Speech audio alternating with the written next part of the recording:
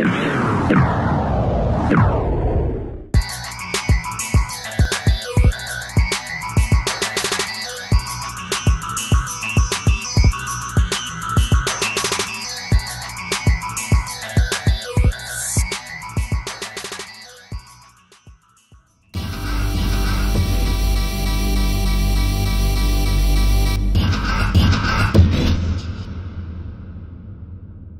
Saludo especial para todas y todos que están haciéndole seguimiento a este programa Demonios desde abajo. Hemos tenido ya reflexiones eh, de feministas latinoamericanas, pero no habíamos tenido la oportunidad de abordar un tema que nos parece clave eh, para eh, el entendimiento, pero también para la acción que tenemos las personas y las comunidades frente a lo que está ocurriendo con eh, el COVID-19, sobre eh, el aumento de la violencia contra las mujeres y niñas en el marco eh, de la cuarentena. Entonces, tenemos como invitada especial hoy a la profesora de la Facultad de Medicina de la Universidad de Antioquia, Gladys Arisa Sosa. Gladys es médica de la Universidad Nacional, tiene una maestría en salud colectiva de la Universidad de Antioquia y es doctora en salud pública eh, de la Universidad Nacional de Colombia. Y eh, ha estudiado durante largo tiempo eh, el tema de la violencia contra las mujeres en las relaciones de pareja. Buenos días, Gladys. Muchas gracias por estar en este programa de Desde Abajo TV. Eh, buenos días, Carlos Iván. Muchas gracias pues por la invitación a hablar de este tema tan relevante y a veces tan poco mencionado. Sí, Gladys, una primera cosa que me gustaría es eh, qué está ocurriendo con este tema eh, en términos de cifras de violencia contra mujeres y niñas en el marco de la cuarentena. No tenemos um, suficiente información porque como la cuarentena es un asunto tan reciente en todo el mundo, pero desde las cifras de ONU Mujeres que hablan de varios países hasta las cifras de Colombia, que en ese momento traje las cifras eh, más recientes de Bogotá y Medellín, observamos un aumento de la violencia contra las mujeres en el contexto del confinamiento que se produce en la cuarentena. A nivel del mundo, ONU Mujeres habla de un aumento del 30-40% en varios países de los que tiene información, fundamentalmente de países europeos, de Estados Unidos y en Latinoamérica hablan de cifras de Argentina. Eh, también tienen algunas cifras de países del Oriente, pero allá no es tanto del aumento, sino como de una mayor proporción de llamadas en solicitud de ayuda. Eh, ya en Bogotá eh, tenemos cifras de la primera semana de la cuarentena, en donde las llamadas eh, a las líneas 155, que también recibe llamadas a nivel nacional, se incrementaron un 91% con respecto a las llamadas del año pasado.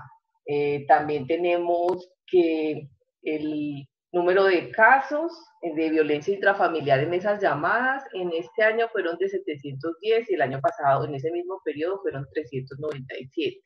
Y como sabemos, según nos lo reporta Medicina Legal, la mayoría de las víctimas de la violencia intrafamiliar son mujeres y niñas y cuando se trata de relaciones de pareja, la mayoría de las víctimas son mujeres. En Medellín, según las cifras que publicó el colombiano hace una semana, tenemos que las llamadas a la línea 123 mujer, que viene a equivaler a esa línea 155 que les mencioné, fueron 2.1 eh, veces más este año que en el mismo periodo del año pasado. Y de esas, pues eh, la mayoría de los casos fueron de violencia física y la mayoría de agresores fueron las parejas de esos casos de que requirieron atención las parejas un 41% y las exparejas un 27%. Y en las comisarías de familia se reportaron 113 casos en la primera semana de la cuarentena de violencia intrafamiliar y 95 de esos casos requirieron medidas de protección a mujeres. Y en los hogares de acogida, en esa misma primera semana, hubo tres ingresos a hogares. O sea, nos muestra unos aumentos eh, en Colombia mm, en mayor proporción que los que reportaron mujeres. ¿qué está cambiando o qué ha cambiado eh, para las mujeres y las niñas eh, esta pandemia, las medidas, digamos, de cuarentena? ¿Qué es lo que está pasando? ¿Cómo se podría, digamos, explicar, interpretar las mujeres en este momento tengan, digamos, mayor vulnerabilidad que la que tenían antes, que ya era bastante alta? Bueno, recordemos que la violencia contra las mujeres tiene unas causas estructurales que están relacionadas con el patriarcado como un sistema de dominación eh, de los hombres sobre las mujeres. Entonces ahí, como en las investigaciones que yo había hecho de la violencia contra las mujeres en las relaciones de pareja de Medellín, podemos identificar tres factores estructurales importantes. Uno, la inequidad de género en el contexto cultural, el otro es la división sexual del trabajo en el contexto económico y el otro es la dominación masculina en el contexto político. Entonces, ¿qué pasa en la cuarentena con estas tres condiciones estructurales? La inequidad de género se acentúa. ¿Por qué? Al estar concentrado todo un núcleo familiar en una casa, la mayoría de actividades domésticas y de cuidado, la responsabilidad recae en la, en la mujer y a veces también en las niñas. Entonces, al estar todos en esa casa, pues va a haber más cosas que hacer, hay más que cocinar, hay más que arreglar, hay más, más asuntos, entonces está la sobrecarga. Muchas de esas mujeres que están confinadas también tienen que hacer actividades productivas, ¿cierto? Bien sea dentro de la misma casa o que tengan que salir ocasionalmente o incluso el teletrabajo. Entonces eso aumenta la inequidad de género y eso aumenta las tensiones porque entonces empiezan las discusiones, porque ustedes no hacen, porque ustedes, bueno, eso por una parte. O empiezan los reclamos, es que usted no hace la comida bien, es que usted no me tiene la ropa bien arreglada, es que la casa no está adecuada. ¿Qué más aumenta? Las dificultades económicas, porque los ingresos, que eso tiene que ver con la división sexual del trabajo y también con la inequidad de género que estamos mencionando, los ingresos disminuyen. Entonces aquí hay un factor que aumenta los conflictos que después pueden devenir en discusiones y en violencia. Eh, ¿Qué más aumenta? El aislamiento de la mujer. Si una mujer está en una situación de violencia con frecuencia, su pareja lo que hace es que la va aislando de sus redes. Entonces no vaya donde su mamá, no vaya donde sus hermanas, no hable con sus amigas, no tenga relaciones con sus vecinas, porque es parte del proceso de la violencia. Entonces, al estar aislada, aunque hoy en día, pues por fortuna, tenemos las redes, el WhatsApp, bueno, hay unos métodos de, comunicación mucho más eficientes que antes, pero igual está en medio, por ejemplo, de, un, de una agresión física, está sola, ¿cierto? La mujer, o a veces con sus hijos e hijas. Todo esto eh, produce una serie de tensiones que aumentan eh, los conflictos, eh, que aumentan el estrés y que aumentan la violencia pues también hay gente que habla de otros factores, que el consumo de alcohol, que no sé qué, pero yo creo que fundamentalmente son estos porque lo otro es cosas que atizan el fenómeno, pero es un problema que estructuralmente ya está y que las condiciones de cuarentena hacen que las tensiones aumenten. Eh, Gladys, en eso que tú comentas, en lo que tiene que ver, por ejemplo, con condiciones de posibilidad, recursos económicos podríamos hablar entonces de que eh, eh, el aumento de la violencia también tendría una diferencia por, por clase social, por ejemplo. Sí, claro. Por ejemplo, en Medellín salió precisamente ayer publicado un informe como de las vulnerabilidades que se aumentan durante la cuarentena, producido por la alcaldía de Medellín, y ahí se observa cómo eh, las comunas de la ciudad con más bajos ingresos, con más bajo índice de desarrollo humano, eh, son las que tienen mayores denuncias por violencia intrafamiliar y las a las que les adjudican un mayor riesgo de aumentar la violencia intrafamiliar durante la cuarentena. La intersección del género con la clase social produce mucho, mucho más tensión más riesgo. Una, una pregunta que me surge, digamos, eh, eh, eh, conversando contigo, tiene que ver con esta percepción, digamos, de la, de la violencia contra las mujeres y las niñas, de la cual, digamos, se viene hablando de manera muy importante hace ya varios, varios años, digamos, ha tomado, digamos, una, una importancia relativa, digamos, en los medios de comunicación, los gobiernos, porque hay, digamos, eh, fenómenos que se pueden reconocer y donde, digamos, se adoptan medidas, la gente sigue las medidas, y otros fenómenos como este, bueno, eh, que marca, digamos, las, las familias, las sociedades, las comunidades, ¿por qué no ha adquirido, digamos, eh, ese, ese nivel de preocupación, de acción que, que está provocando, por ejemplo, el COVID-19? Quizás sea porque la sociedad eh, lo que ha hecho es naturalizar la violencia contra las mujeres. Eh, se invisibiliza, es decir, eh, esto pasa a ser parte del paisaje. Entonces, como todos los años matan cierto número de mujeres y las asesina a su pareja, eso ya lo tomamos como si eso fuera una realidad biológica o un designio divino o una cosa que estuviera en las hormonas, en la testosterona masculina, que no se pudiera evitar o algo así. Eh, decía Nuria Varela en el prólogo de uno de sus libros, el año pasado, no me acuerdo la cifra, pero pongamos un número, mataron 40 mujeres eh, en España y fueron asesinadas por su pareja. No mereció ningún titular.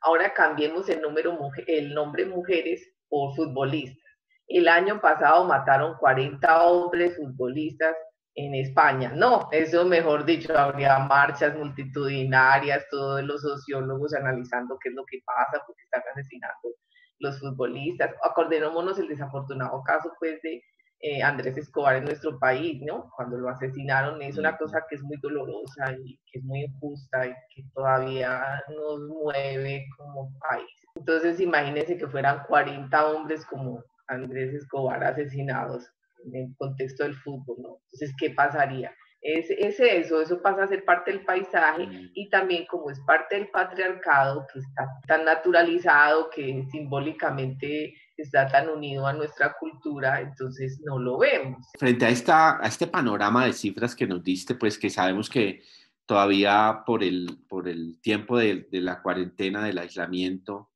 eh, eh, tenemos apenas cifras parciales, pero que ya muestran, lo que nos mostraste de Bogotá y Medellín, muestran un aumento importante. Eh, ¿Cuáles son las posibilidades, digamos, que, que, tienen estas mujeres frente a la acción del Estado de, de, de, el cuidado, digamos, de sus derechos, el restablecimiento de sus derechos, el evitar, por ejemplo, que estas mujeres terminen en, en feminicidios? ¿Qué, cuál, ¿Qué es lo que está ofreciendo, digamos, en este caso, pues las, las ciudades, pero también el, el país para estas mujeres que, que, en este momento, digamos, podrían, en, podrían estar en condiciones de, de vulnerabilidad o estar siendo violentadas. Pues básicamente lo que hace el Estado colombiano, porque aquí nos vamos a restringir más que todo pues a Colombia, es implementar las leyes que actualmente existen para prevenir y erradicar la violencia contra las mujeres, desde la ley 1257 del 2008, la ley de Rosalvira Celi, o leyes más recientes que incluyen otros tipos de pareja eh, dentro de la violencia intrafamiliar. Y entonces eso cómo se hace? Pues se hace fundamentalmente a través de líneas telefónicas, que eso es una tendencia en todo el mundo, eh, entonces tenemos a nivel nacional la línea 155, también tenemos las líneas 123. Aquí en Medellín, la línea 123, que esa línea la manejan en la Policía Nacional, tiene una parte que se llama 123 Mujer, en la que la maneja la Secretaría de las Mujeres. Y entonces ahí hay 24 eh, horas eh, abogadas y psicólogas que están contestando las llamadas de las mujeres, valorando eh, la gravedad y el riesgo de que eh, ocurra, de que sean víctimas de un feminicidio y ellas pueden mm, inmediatamente ordenar que vayan o ellas mismas ir a, a donde está la mujer y llevársela con sus hijos para darle una protección inmediata o si se demora mucho este asunto, pueden mandar pues a agentes de la Policía Nacional a que rescaten a la mujer. Em, también está en Medellín, tenemos los hogares de acogida y en otras partes del país están casas de acogida donde la mujer eh, se puede, por decir algo así, esconder de su marido eh, mientras organiza como toda la parte legal, se pone pues en tranquilidad pues emocional con asesoría psicológica, restablece sus redes pues para buscar los apoyos con los que normalmente cuenta. Y también existe una otra aquí en Medellín que se llama apoyo psicojurídico, que es como, si estuviéramos hablando de salud, sería como una especie de consulta externa, donde las mujeres eh, pueden ir como a unas consultas si la cosa no está tan grave, porque no toda mujer que está en situación de violencia de pareja está a punto de ser asesinada por su marido, que la cosa sea una violencia pues que no, no llega a ese extremo. Entonces ahí ellas pueden ir recibiendo asesoría eh, psicojurídica para que vayan teniendo mm, pues más claro opciones de actuar. Como ahorita no se está dando esta atención psicojurídica pues por la pandemia, entonces en Medellín eh, se establecieron unas líneas de WhatsApp donde se da esa atención psicojurídica en un horario de oficina porque sería como la consulta externa, pero están mirando a ver si eso se logra hacer 24 horas porque ha sido muy exitoso, ¿cierto? Porque, por ejemplo, llamar a una línea 123 para una mujer es más peligroso si el agresor está ahí cerquita que usar el WhatsApp, ¿cierto?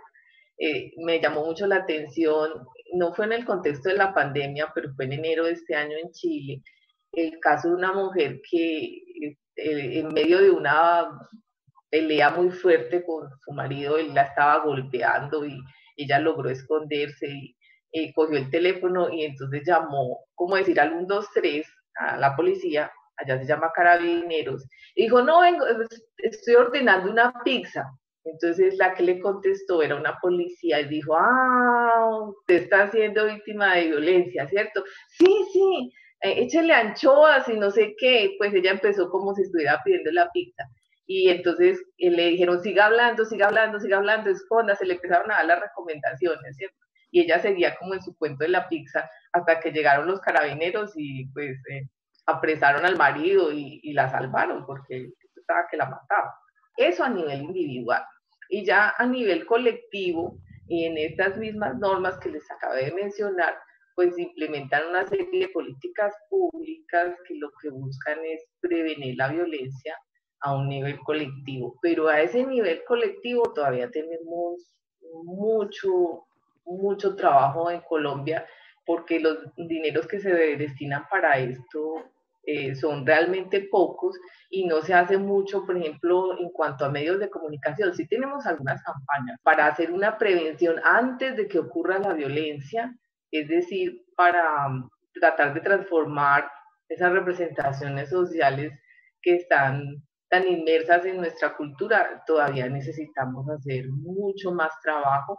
Eh, pensando en esto que tú has planteado, ¿no? De estas mujeres que pudieran estar, digamos, en una condición de vulnerabilidad hoy, mañana, digamos, durante el aislamiento, eh, y, que, y, que, también por lo que has dicho, están controladas muchas veces por sus parejas, su teléfono está controlado, las comunicaciones que tienen están controladas.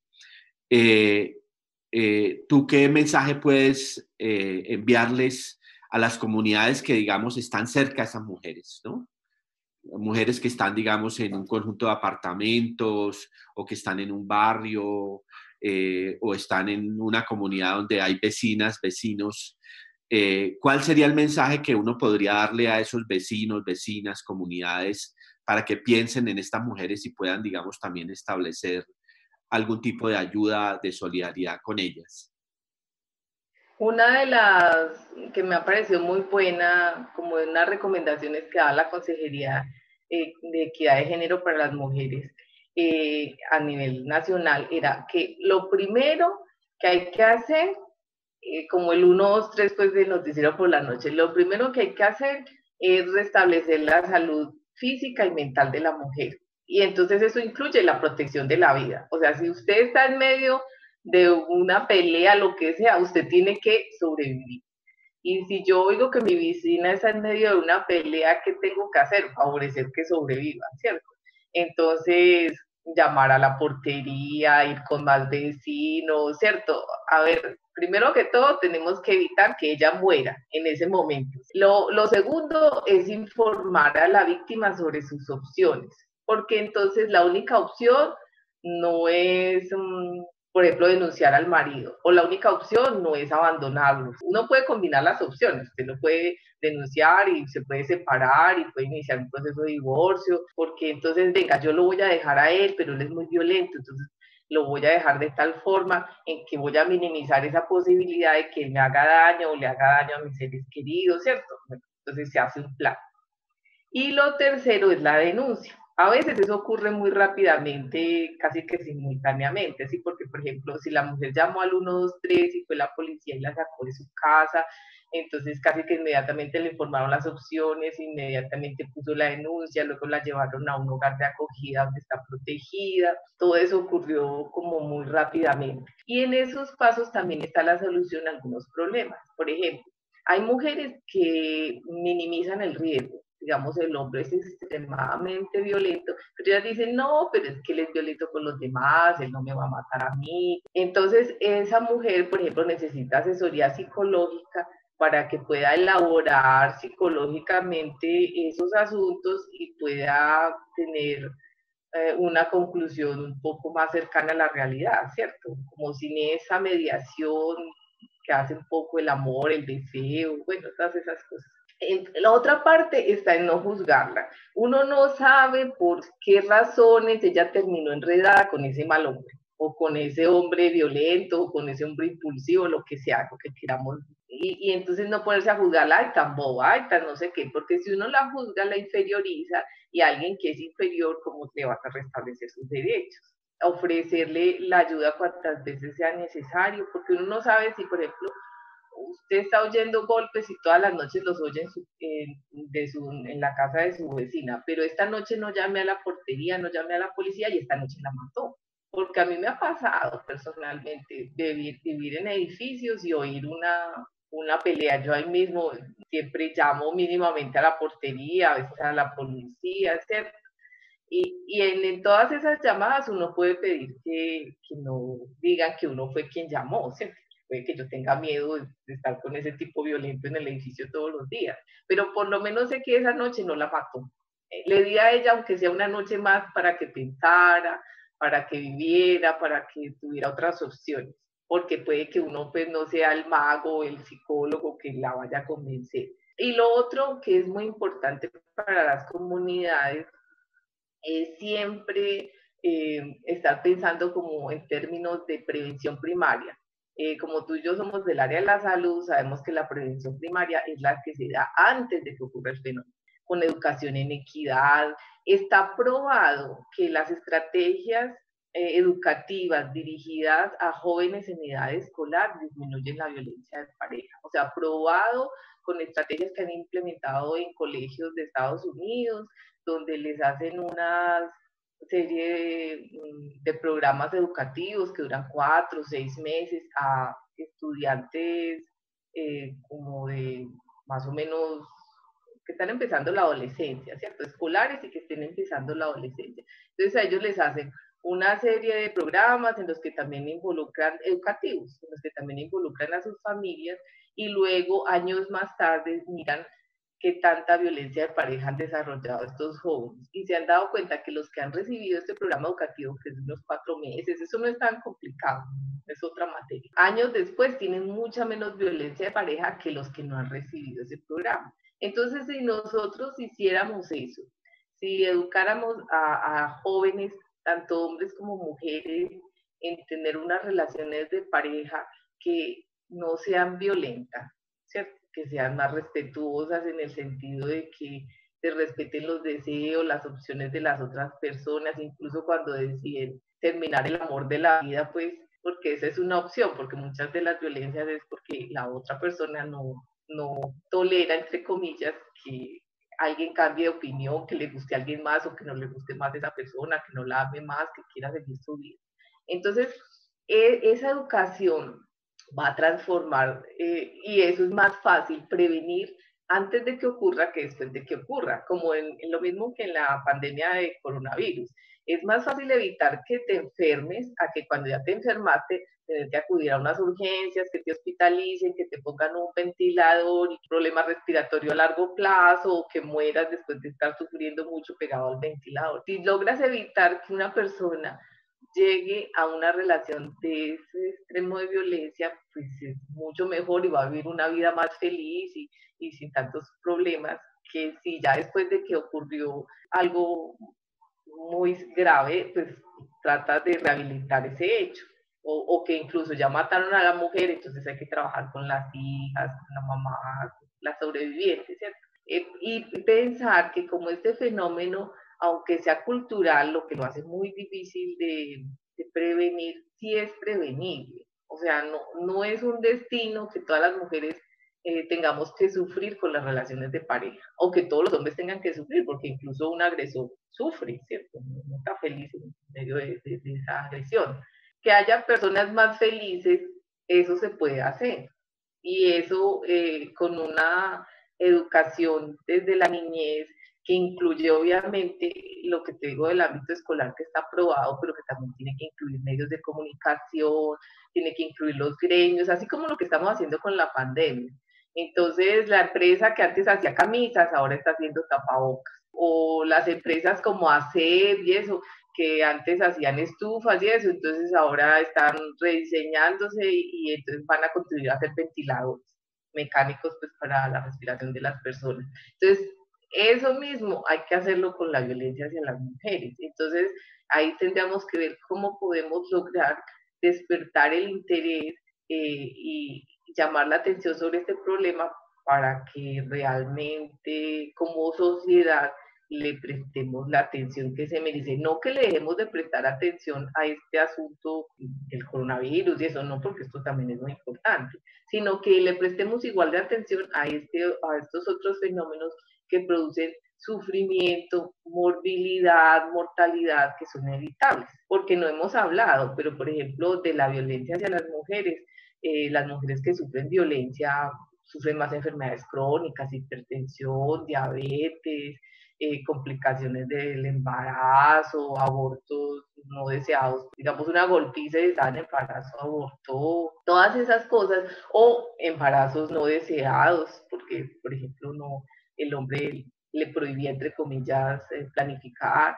Entonces, eso tiene una serie de consecuencias en salud, eh, no solo en salud mental, que son muy graves, que también podríamos disminuir eh, si logramos hacer una intervención sobre eso y que tampoco es tan costosa en términos monetarios, sino más bien en términos como sociales, culturales, porque implica muchas veces salir como de una zona de confort donde estamos, porque a veces hacer estas transformaciones puede también ser para los sujetos que las hacen un poco movilizador en términos psíquicos y entonces tienen que, de pronto a veces hay gente que tiene que renunciar a ciertos privilegios para transformar la sociedad. Porque no es solo que en una relación de pareja no haya violencia, sino que una relación de pareja sí haya felicidad. Porque entonces, no, que te trate con respeto, que sí, pero para eso pues tengo muchas relaciones sociales. Pero en una relación de pareja se está buscando felicidad, afecto, confort, eh, apoyo, una serie de cosas que, que no es solamente no violencia, ¿cierto? Sino que va más allá, hacia la alegría, el disfrute. Pues ese llamado tuyo al cuidado individual, pero también al cuidado colectivo, ¿no? Como las comunidades, las vecinas, los vecinos tienen también un papel en esto, ¿no? También pensar en la prevención hacia futuro, más cuando estamos pensando en, en unas eh, medidas de cuarentena frente al COVID que van a ampliarse, digamos, durante tiempos largos, pues cómo también debieran implementarse eh, de manera más importante eh, aspectos de prevención de la violencia de este tipo. Te agradezco muchísimo eh, el, habernos eh, eh, regalado, digamos, este tiempo de, tu experiencia, de tu experticia para, para compartir con quienes siguen el programa Desde Abajo TV.